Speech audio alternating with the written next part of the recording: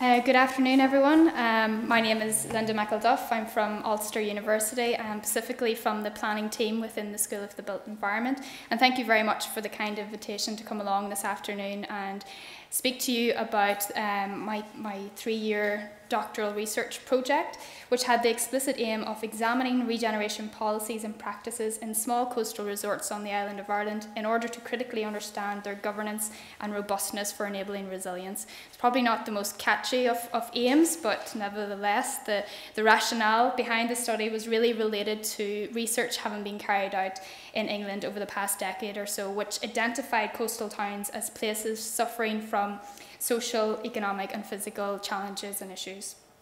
And there has been much political and academic research carried out since then, seeking to raise awareness and enhance understandings of the different types of issues facing communities on the coast and what might be done to alleviate or remedy some of these.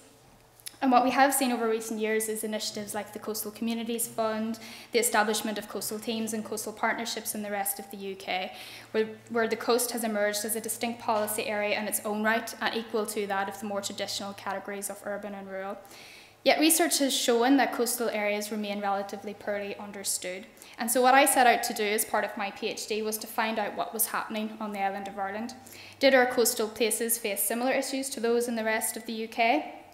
That were receiving relatively more attention at that time? And if so, what was being done about it?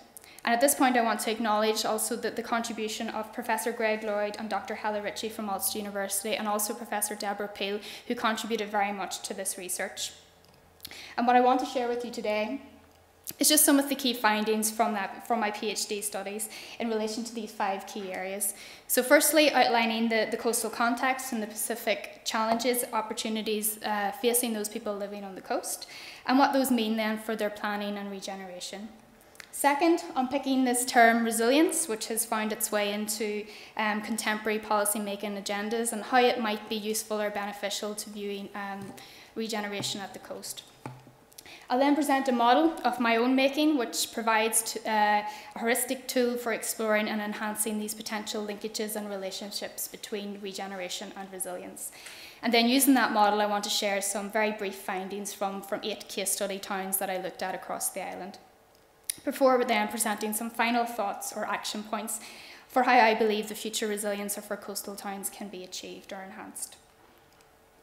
So we might all appreciate that our coast is a very valuable resource. It contains highly productive and diverse ecosystems, which in turn support a range of socio-economic needs and desires, including recreation, tourism, power generation, industry, and so on. These activities are situated in an area that is continuously subject to change. Coasts are increasingly acknowledged as vulnerable places and are facing uncertain and unpredictable futures, particularly in the context of global climate change. In the UK and Ireland, coastal communities also face a range of socioeconomic challenges, such as changing demographics, seasonality of employment, and decline of traditional coastal industries. Recent studies, however, point towards a new era for coastal communities in terms of a growing events and leisure tourism sector, including golf tourism, an increasing appreciation of coastal heritage, as well as diversification into new alternative industries such as marine renewables. But there's evidence to show that many coastal communities have struggled to respond effectively to previous cycles of decline and lack sufficient resources and capacity to be able to capitalise on such opportunities. So some form of intervention or regeneration is often required. Importantly, coastal settlements have traditionally been on, on the margins of central government regeneration policy and have often been treated as indistinct from the wider environment. Consequently, regeneration policies and practices have traditionally proceeded in the same manner as urban areas with little recognition of the distinctive characteristics and problems facing coastal communities, which was identified as one of the key contributing factors to accentuating decline in English resorts. Importantly, Marine resources have risen up the policy agenda on the island in recent years, particularly in terms of marine planning and management, with increasing uh, political and policy interest in optimising the social and economic potential of coastal settlements. The Northern Ireland Marine Plan team are currently working on producing Northern Ireland's first marine plan, and Ireland are a little further behind in the process, but will also produce a plan uh, for their marine area. I'm not sure how familiar you are with marine spatial planning, um, but the Marine Plan will essentially inform and guide the regulation, management, use and protection of a marine, marine area. We argue that the marine should not be regarded as an isolated policy or planning regime. It is linked inextricably with the coast and then with the land. And marine planning is required to have positive terrestrial as well as marine impacts. And this offers a real opportunity for coastal communities to enhance the resilience of those communities by contributing to sustainable growth by integrating with terrestrial land use planning and engaging the community in that process, and also by bringing marine and coastal issues and resources to the forefront of debates. And this is important because coastal areas, coastal communities, tend to share a number of economic, social, environmental, and governance values and characteristics which differentiate them from their inland counterparts. So, for example, Many coastal communities on the island have experienced relative economic decline over recent decades, stimulated by changes in traditional coastal industries. Yet many remain reliant on these industries, which can accentuate problems of low wage, seasonality of employment, and the like. On a more positive note, as previously outlined, recent years have witnessed an increase in recognition of the economic potential of the island's marine resources um, in the context of blue growth. And there are opportunities there for coastal communities to tap into such developments if properly supported and managed. Coastal areas are experiencing increasing rates of coastal erosion. They are vulnerable to predicted rises in, in sea level. Um, and that is a potential deterrent to regeneration drivers and potential investors. The winter storms of 2013-2014 provided a stark warning, a reminder of the vulnerability of our coastal communities to changing environmental limits and an appropriate planning response in terms of the location, siting, design, layout, and infrastructure is needed. In terms of governance values, the statutory land use planning and regulation of the island's coastal area is both complex and challenging. It is often not fully integrated between land or sea or between the different sectors of activity. Responsibilities for coastal management are spread across a number of government departments, as Susie so eloquently outlined, reflecting a wider division in, uh, of planning functions. There is a confusing jigsaw of overlapping regulations, property rights, access rights, and sometimes outdated legislation. The coast is very much betwixt and between. It's an area at the convergence of a number of policy areas, and this complexity can be a deterrent as well in terms of investing in and regenerating inner coastal areas in the long term. So there are specific issues and challenges, but there are also specific opportunities facing our coastal communities which merit fuller, um, further attention. Differentiation not only exists between the coastal and inland uh, divide, there are considerable diversity between coastal settlements and coastal communities themselves. In an early piece of work, I analysed the all available social demographic data for all small towns on the island, so those with populations greater than 1,000 people but less than 10,000, and identified these six broad categories or trends that they tended to follow. And these range from those that were doing really very well and could be considered rather prosperous, to those who scored below average on all of the indicators and so were displaying signs of decline, signs of stress. And what I wanted to know was why were some places obviously able to, to deal with change and to take uh, opportunities as they, as they arise, whilst others are not? And more importantly, what was being done, if anything, to address the level of decline in these striving areas? And what this analysis said to me was okay, our, our, coastal communities may not be at the same level of decline or deprivation that many are in, say, England. They're smaller centres of population growth to begin with. But there are some that are really quite obviously um, struggling, um, but are perhaps not gaining the same level of recognition at the, at the level at which decisions are being made. So I suppose the clear message coming from this section of the presentation and the paper um, is that a one-size-fits-all approach to the regeneration of coastal areas is inappropriate. Approaches need to be tailored to the specific underlying conditions of an area. So how can we do that? We need to think more critically about the design and implementation of sustainable interventions. And it's been increasingly argued that regeneration, uh, regeneration approaches or sustainable development agendas need to take into deliberate consideration a place's resilience to future change, whether that change is social, economic, environmental, or physical in nature. Resilience has infiltrated contemporary policy-making arenas, including planning and regeneration. And I'm sure everyone here has come across the term resilience before being used in one context or another. Um, and of course, it acquires different mean, meanings when used in, or applied in the context of a time-specific um, crisis. Unforeseen shocks, such as coastal flooding, um, are quite different from undesirable, slow burny change like the decline of uh, coastal tourism or something like that. And will obviously require different responses.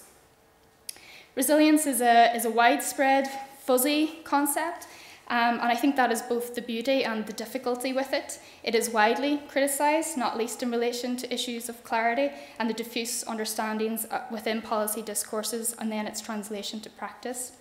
But nevertheless, building resilience has become a pr principal concern and a, a priority in many policy areas and seems set to stay. So we need to understand, we need to enhance our understandings of it and how we are using it. Now, I don't want to go into any great detail on the evolution of the concept or, or its varying interpretations, of which there are many, but I do think it's important to briefly outline the term and how I've used it, how I've interpreted it, and what the benefits are then for looking at coastal regeneration. So, resilience was first interpreted as the ability to simply bounce back. It was about stability, it was about efficiency, it was about maintaining a, a status quo, that steady equilibrium. And this perspective is often referred to as engineering resilience.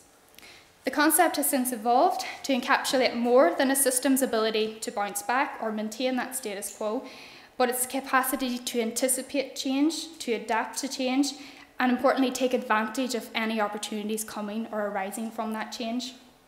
And this perspective is often referred to as social ecological resilience, and it's beneficial, I think, in a number of ways, but I just want to point out two to you this afternoon.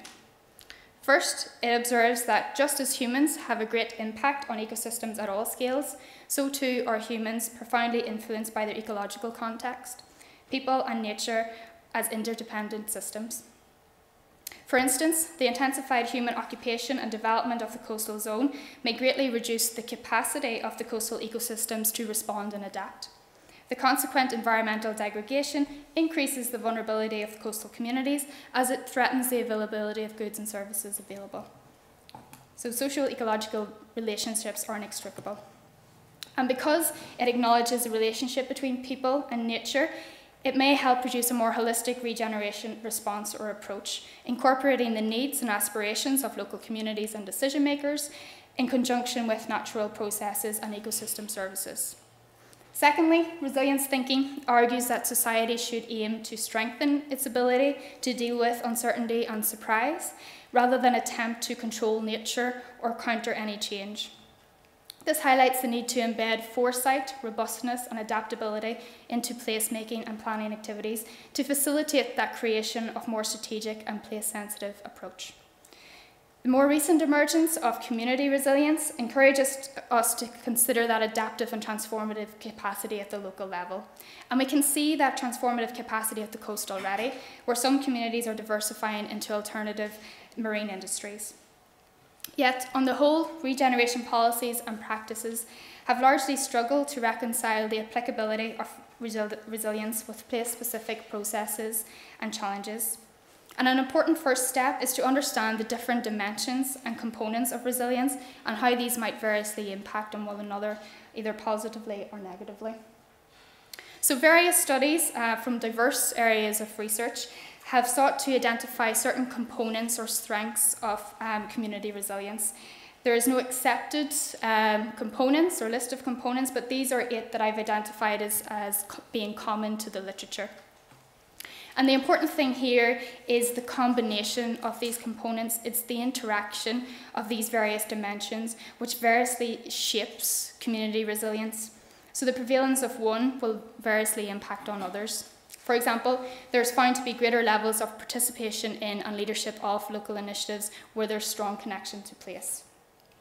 So questions are raised then in relation to how components of community resilience might be recognised, might be fostered, and might be mobilised to inform, shape, and deliver regeneration or renewal efforts. And that, of course, will be different for different places.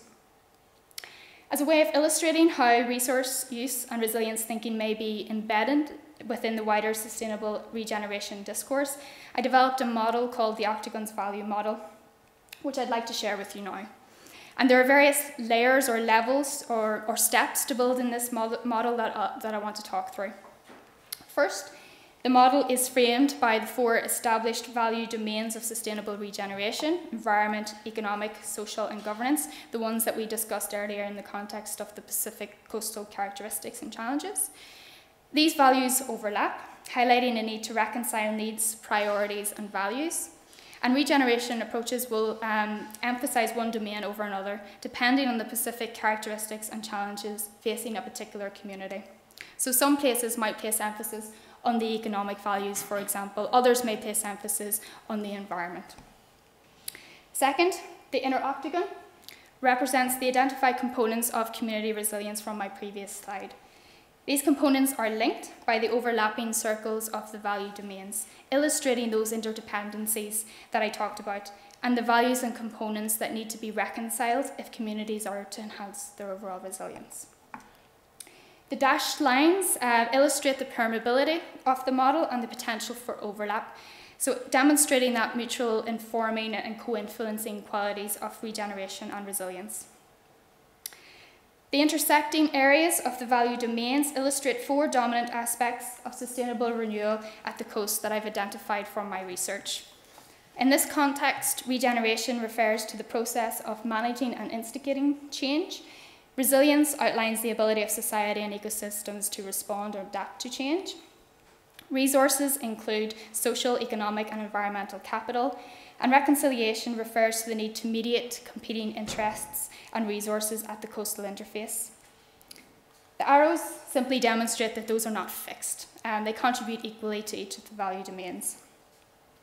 And for the next part of my presentation, I want to briefly outline just some of the key concerns, key challenges coming from, from the case studies that I investigated as part of my research under these four key um, aspects. So firstly, as, as we might expect, regeneration is articulated differently around the coast, depending on locational and historical context, cultural and physical attributes, and the socio-economic characteristics of a given area, including the scope to diversify that local economy. Tourism remains a dominant component of many coastal regeneration efforts around the island, including at Portrush, in Youghal in County Cork, and Clifden in County Galway reflecting a certain path dependency which may or may not liberate alternative thinking and approaches.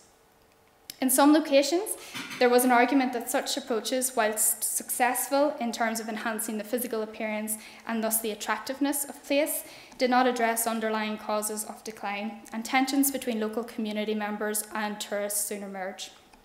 It was also highlighted by participants that whilst the coastal setting and scenery is advantageous in terms of promoting tourism development, attracting visitors as well as new residents, it can also hinder initiatives by masking levels of decline. And that was also um, something that was identified as an issue in England, and one of the key reasons given for why, why the, the decline of resorts, English coastal resorts, wasn't identified in a more timely and efficient manner. Again, this emphasises the need to understand the specific coastal context and the challenges that they face. And there were repeated calls from around the island for increased policy attention of the particular needs and concerns of those living on the shoreline.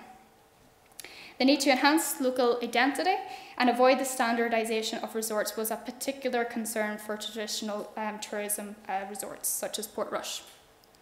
Indeed, there was a general consensus that the distinctive attributes of each resort needed to be capitalised upon to enhance the unique identity and credibility of these places.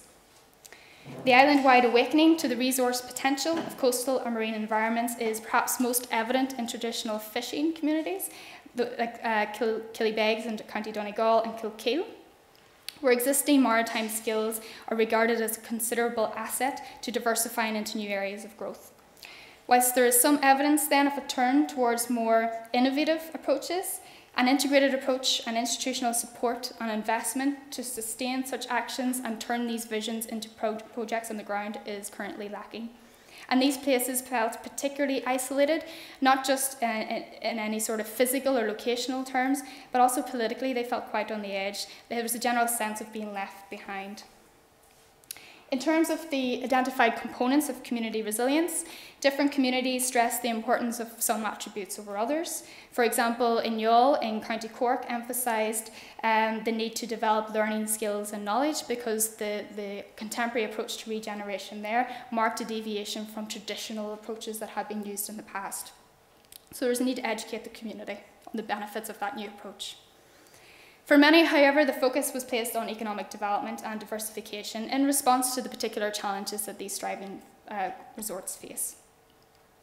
People-placed relationships and sense of community were found to be critical in terms of fostering resilience um, and fostering uh, responses to local regeneration, which is hardly surprising. There's lots of evidence to support that elsewhere. But what was emphasised was the importance of the process of regeneration, the delivery of the initiatives. And I quite like this quote from a participant in Kinsale who said, What's as important as getting that work done is the kind of synergies it creates. It, it builds communities, it creates community resilience.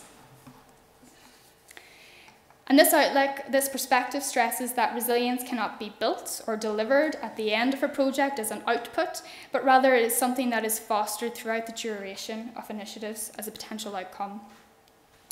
It was also clear that the prevalence of specific coastal hazards added an additional layer of complexity in terms of devising appropriate responses and interventions.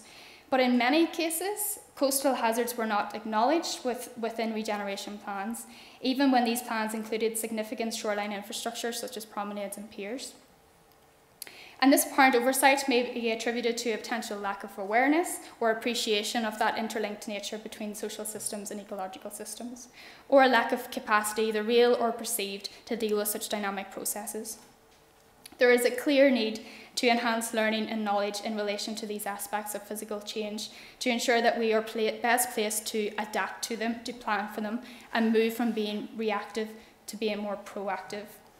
And an appropriate planning response in terms of locating and designing infrastructural developments or improvements is really important here. The natural assets and resources of the resorts significantly contributed to the initial growth and development of these places, but also to their contemporary regeneration approaches. So this may involve, for example, developing and celebrating heritage, as in Portaferry or Youghal, or using marine and natural resources to facilitate new opportunities for energy generation and economic growth, as in Killybegs and Kilkeel. So there's a need to balance then economic growth with the continued protection of the natural environment and resources, which ultimately underpin that growth. It was found that the negative economic influences associated with living on the edge have also fostered a considerable degree of entrepreneurialism. There are some communities, particularly in the west of Ireland, that are doing some amazing things with seaweed. Um, but issues relating to location, seasonality, and changing demographics present key barriers um, to supporting that entrepreneurial activity in the long term. Competing perspectives, coupled with a lack of joined up thinking between different interests, was identified in all cases. Accordingly, the provision of platforms for increasing interaction, cooperation, and mutual learning between different stakeholders at different governance levels was highlighted as important. Across the cases, local resistance to change and apathy were identified as the most significant barriers to regeneration efforts.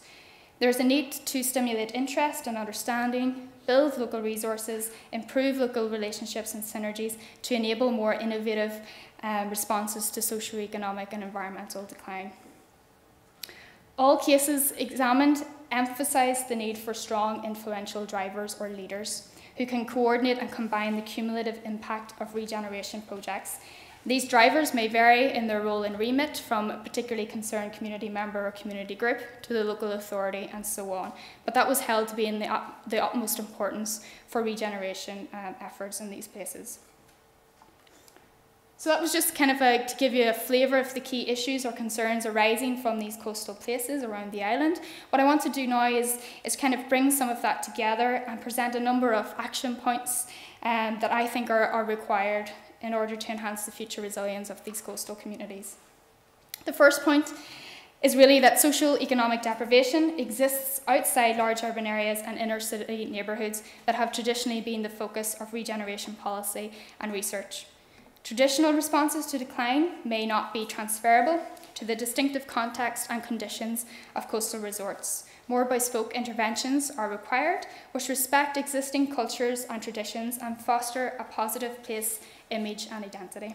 There is evidence of coastal de degeneration, and we cannot afford to be complacent about it. Secondly, the diversity of coastal resorts presents a particular challenge to devising a coastal specific response and highlights the inadequacies of a one size fits all approach. The typology of small coastal settlements that I shared with you earlier helps isolate and reflect specific coastal characteristics, providing for a more informed and consistent approach to intervention and policy development. Third, and notwithstanding the identified differences in the search for novel solutions, there is considerable potential for lesson drawn across the island of Ireland, but despite this, there is limited communication between coastal locales. A coastal network, in that regard, may help facilitate this lesson drawing and innovative thinking by providing a platform for knowledge exchange, co learning, and collaboration at a national and bi jurisdictional level. Fourth, regeneration approaches which fail to acknowledge a place's resilience to change will fail to set that place on a more sustainable trajectory. When applied critically, the concept of resilience can capture interactions between natural and social, ecological, social economic systems, therefore providing a robust lens through which to view coastal resort regeneration and practice. This perspective illuminates a new role and responsibility for coastal regeneration policy and practice in terms of reconciling competing interests and values at the coast and the sustainable and equitable use of social, economic, and environmental resources. In terms of coastal management, access, and power, rights and responsibilities at the coastal interface remain elusive. The terrestrial planning system and the marine planning and licensing system are legally and functionally separate, but overlap in the intertidal area. It follows that district, local district councils need to work closely with the department and neighbouring councils and other relevant bodies to ensure that local development plans and marine plans are complementary.